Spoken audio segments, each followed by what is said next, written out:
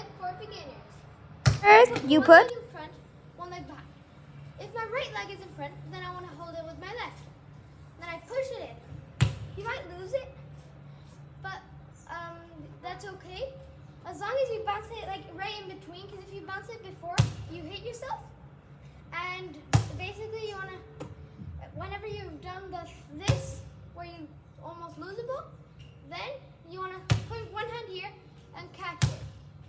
like that, so that it doesn't, you know, fly away. From that, once you got really good at it, you can do dribble, through leg, dribble, and from that you can advance to drop, through leg. Remember, practice it with both hands. And then from that, you, you can also learn the reverse one, which is a bit harder, but basically same step. Bye.